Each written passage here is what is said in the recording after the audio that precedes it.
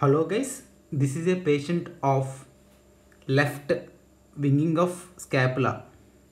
So the patient is performing wall push test. We can see the medial border of left scapula is more prominent.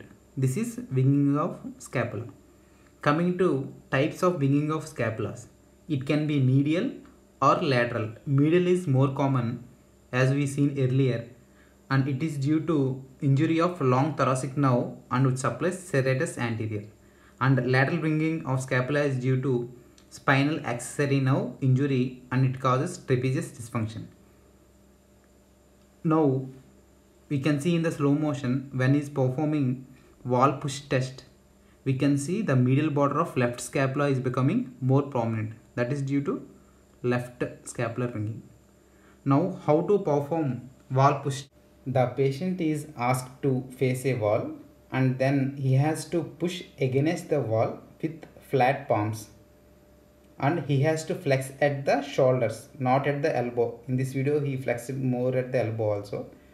So he has to flex at the shoulders. And we have to look for winging of the scapula. This is how we have to perform the test. Thank you guys. Please subscribe